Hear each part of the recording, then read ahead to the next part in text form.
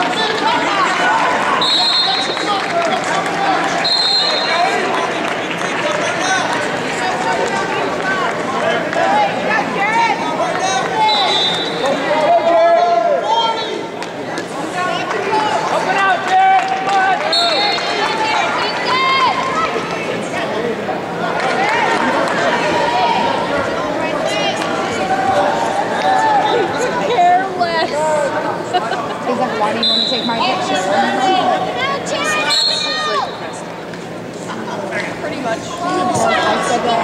Walmart. He has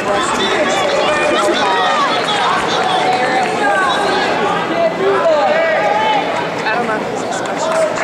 Like when I, got in the elevator, he's like, I'm going to the basement. He, I don't think he has emotions.